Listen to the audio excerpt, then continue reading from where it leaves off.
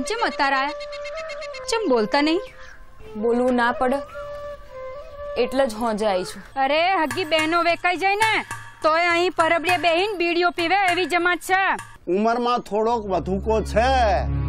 અને તમારી ગૌરીને કહી દેજો કે મહેરબાની કરીને કોઈ ઉધામાં ના કરે. મારી દીકરી મને ભારે નહીં. એ તો બધું અત્યારે બોલાય છે. મને નથી લાગતું કે ઉપરવાળાએ ગૌરીનો હાથ જાલે ઓ કોઈ મરદ પેદા કર્યો હોય. ફરી બોલ તો. મિશનીઓએ છું રાજપૂતોએ છું. રામ નાઓ નમો હેઠા ભરો ખોબામાં પેલી ધૂર નાખો તમારા જટ્ટિયામાં દીવા જેવો છે કે છોડીને એકવાર મહાદેવને વરાવી દઈએ પછી કોઈ છોડી પર કુડી નજર ના નાખી શકે. પેલી અંબીનું આણું પાછું ઠેલાયું ને તો એની માસી આખું ફળિયું માથે લીધું છે. તારે મને સમજાવવાની જરૂર નહીં.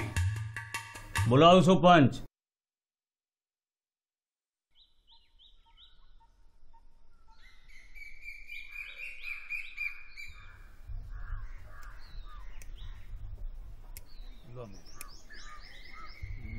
સવો મૂળિયારો કાભાઈ કાંજી ભલજી ખેંગાર ને મારો બાપુ. ને આ બધાયથી ઉપર પેલો મેઠો આંતરો ગૌરીનું ભવિષ્ય આ પાંચ મોવડીઓના હાથમાં છે. આજે વાત કોઈ ચોરી લૂંટની નથી કે નહીં કોઈ ઘર પાડોશના કજિયાની. આજનો ઝઘડો તો જુદો જ છે. એક બાજુ ગામ ને એના રીતિ રિવાજ છે. ને બીજી બાજુ ગૌરી ને એનું સાચ. તો લા સાંભળો બધા.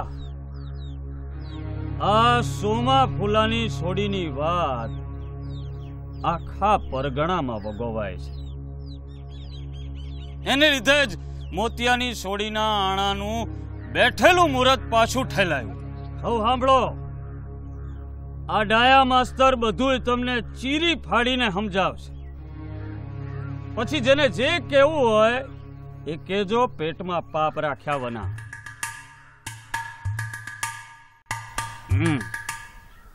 બોલો, માસ્તર. આ ગૌરીની વાત એકદમ ઉઘાડી છે. એના બાપ સોમા ફૂલાએ પાંચ ગોમનું પંચ ભેગું કરીને મોં માગ્યા રૂપિયા આલવાની વાત કરી. તોય હોમાવાળા નહોતા માન્યા. હવે મુરતિયામાં ભલી વાર નથી. ને એની માં કભારજા છે એ વાત આખો મલક જાણે છે. પહેલા આણે ગયેલી છોડીના ઓરડે એના સગ્ગા જેઠને મોકલીને એ ઘરે આપણા ગોમનું નાક વાળ્યું છે. મને તો લાગે છે કે આપણા પંચે એનો જવાબ માંગવો જોવે.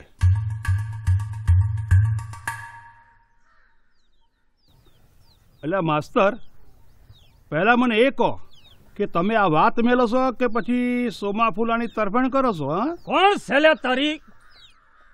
વચ્ચે ડબકા નો મેલે છે? પંચના નેતીને એમ ભૂલી જો જો મેઠા કાકા બે ગારો વધુ કી દેવી હોય ને તો દો બોલી નાખો.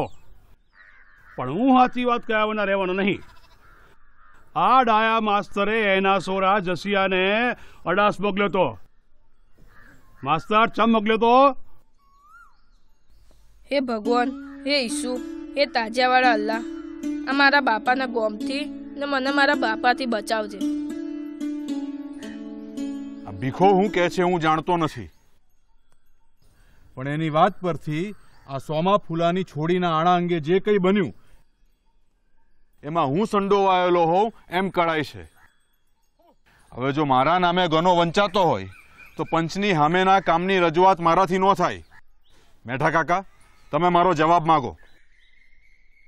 આ ભીખો કહેતો હોય એ વાત જો સાચી હોય તો પંચનું ખાવડું ને મારું માથું. ડાયા હરખાના જસ્યાનો જવાબ લો. તરત ખબર પડી જશે. ડાયા હરખાને સૈયાને બોલાવો જોઈએ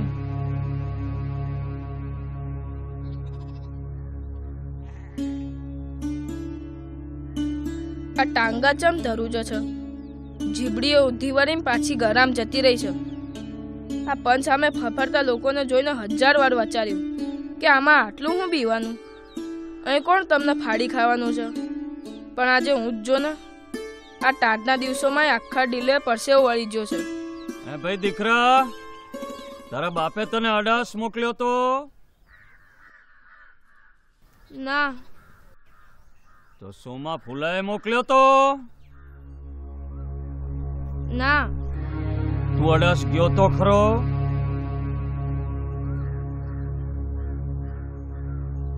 હા. હમ. કોના કેવાથી ગયો તો?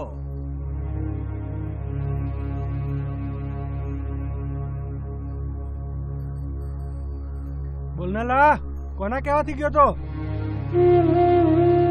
મારા કહેવાથી અને મેં એને મોકલ્યો તો.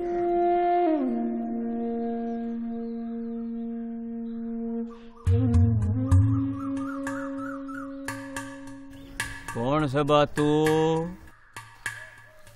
હું સોમા ફૂલાને છોડી બાપા. ગૌરી. તો તારા બાપના નામનો આટલો ધજાગરો તને ઓછો પડ્યો છે? તે સ્ત્રી થઈને પંચની હોમે આવી છે? અને એ પણ વગર બોલાય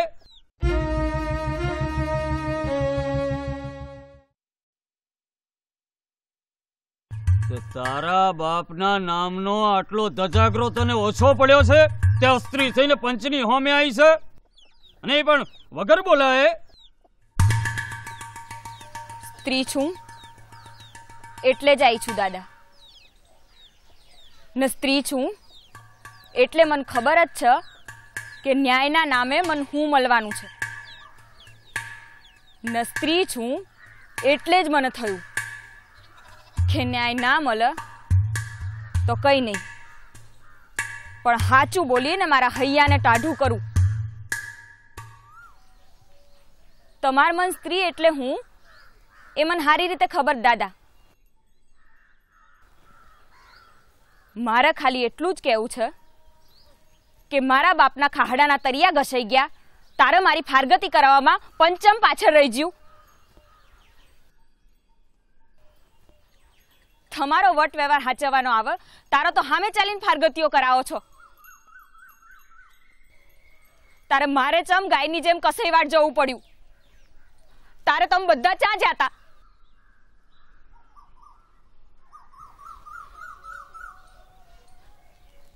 હું સ્ત્રી એટલે ઉકરડાની જાત. પણ બાપા, ખેતરમાં ખાતરનો પૂજો નાખવાનો હોય તો આ લોક ઉકરડાને પૂજે છે.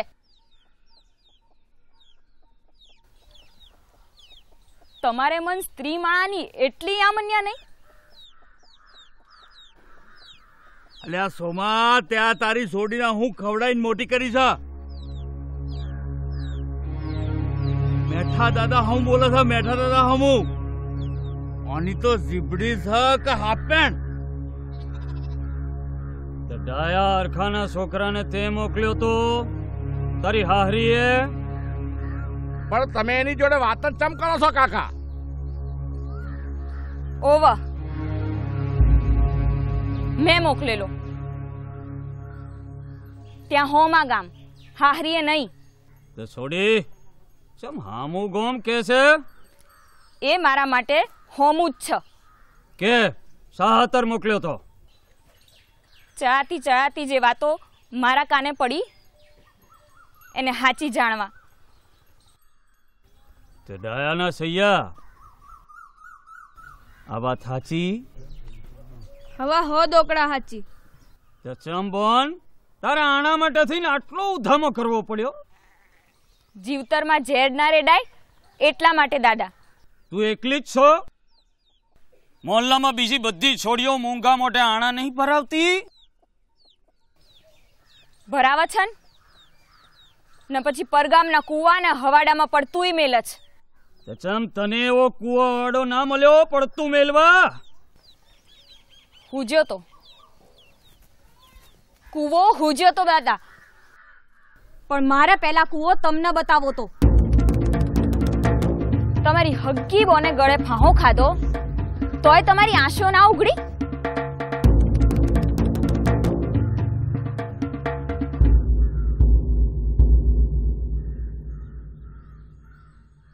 લોક કહેણી તો એવી છે બાપા કે લોકોની ચામડીના પડળ ફૂટી જાય, પછી અંતરની આંસો ઉઘડે છે. પણ તમાર તો અંદર ને બહાર બધે નર્યા અંધારા જ છે. ગામની કુવાસીન કૂવો બતાવતા તમને લાજ ના આવી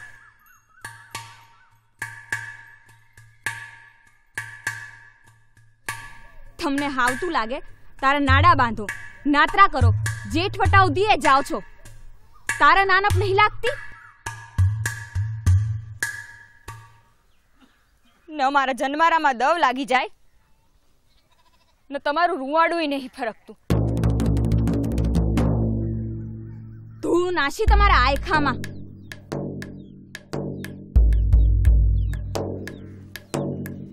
સાચું બોલીને મેં તમારા પંચના નિયમ તોડ્યા હોય તો મેલો મારા બાપના કટમના નાતબાર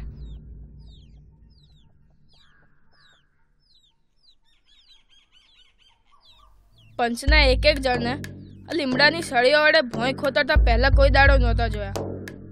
અને સૌથી વધારે નવાઈ તો એ વાતની લાગે છે કે આટલું સાંભળીને મેઠા દાદા ચમ એકદમ ચૂપ છે?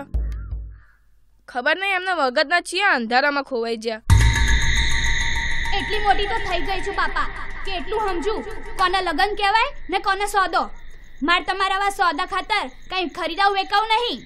તને પૂછવા કોણ આવ્યો છે? આ તો ખાલી કહેવા આવ્યો છું. તારા આંતરા ભાઈનું આણું તો જ ભરાશે. જો તું આ લગન કરેશ. ખુંધિયા જોડો? એની બોન મારા આંધળા ભાઈને પણવાની ના ન પાડો એટલે? તો એમાં ખોટું હું છે? તારા ભાઈનો વિચાર કરવાનો કે નહીં? એનો જ વિચાર કરું છું. વિચારું છું કે હું આંધળી હોત તો માર માટે થઈને એ કોઈ કુબડી જોડ પરણત?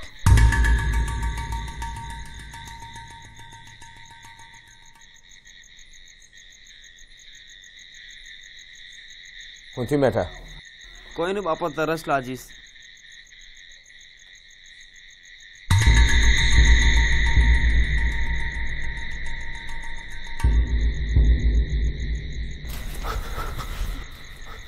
માર તમારા આવા સોદા ખાતર કઈ ખરીદાવું વેકાવ નહીં.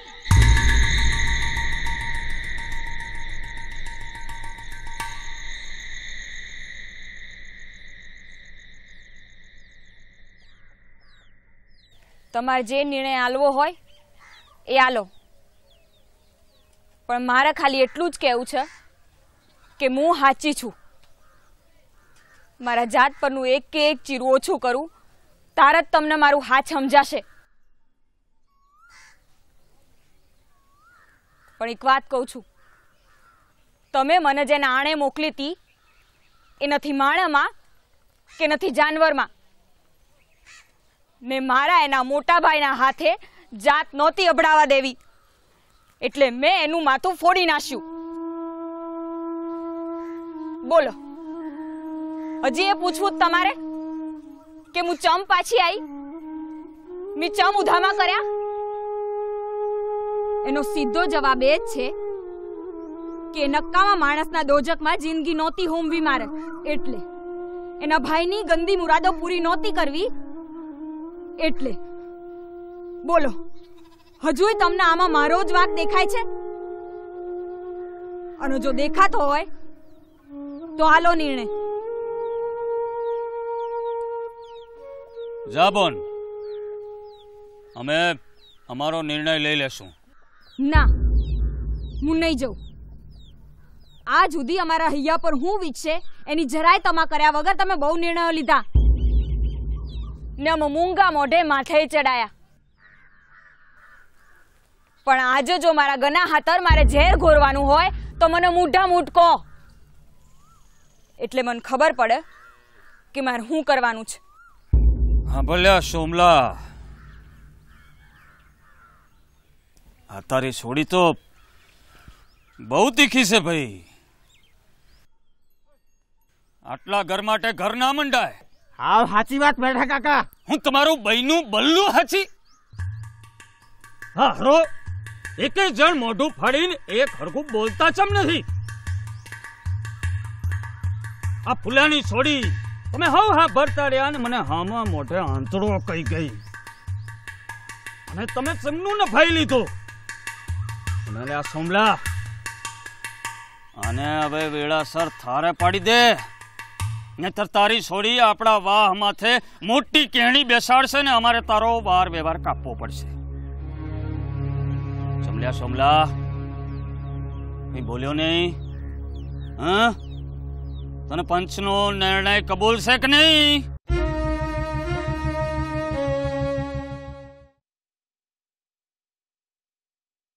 તને પંચનો નિર્ણય કબૂલ છે કે નહીં? હા હા. ચમ નહીં. બાપાને હું ડારો દાદા? જવાબ મેં માંગેલો. તમે ભલે સ્ત્રીને બે બદામની લેખો, પણ કાનના બખા ખોલીને સાંભળી લેજો. આ મારું ગામ છે. ને હું અહીં જન્મી છું. આપના રાય વના કોઈ મને અહીંથી કાઢી નહીં હક. ને મારું મન માનશે ત્યાં લગન હું અહીં રહીશ. નહીં ગમતા માણા જોડે ખીલે નહીં બંધાવું. નહીં કૂવો હવાડો કરું કે નહીં ઝેર ઘોરું. તમારા પંચને માથે કે નહીં આવવા દઉં. પણ સાચું કહું છું, જો અમાર કુટુંબ હારે વ્યવહાર કાપશો, તો હવની છાતી પર મગ દરેશ. ચલો બાપા.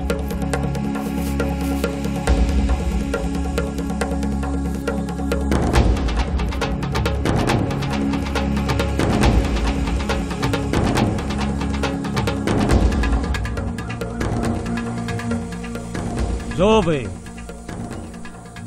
મેં આજ સુધી મારી પત રાખીને આપણા વાહની પરગણામાં આબરૂ હાચવી છે. મારી જાણમાં મેં કશું ખોટું નહીં થવા દીધું. પણ હવે મારે કંઈ કહેવાનું નથી. તમે બધા તમારું સંભાળો. હું હવેથી પંચ ભેગો નહીં રહું. ના કાકા ના આમ તમુ અરખાથી પંચ છોડી ના જવાય. તમે કહેશો એ એ આંખ માથા ભેર. આ સોમાં ફૂલા નાત બાર કરવો હોય, તો તમ તમારે કહો. તમે બેહો ને બે ધડક હુકમ કરો, કાકા.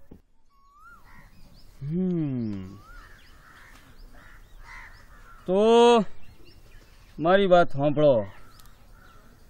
જો ભાઈઓ, હવે હું જાજુ નથી ખેંચવાનો.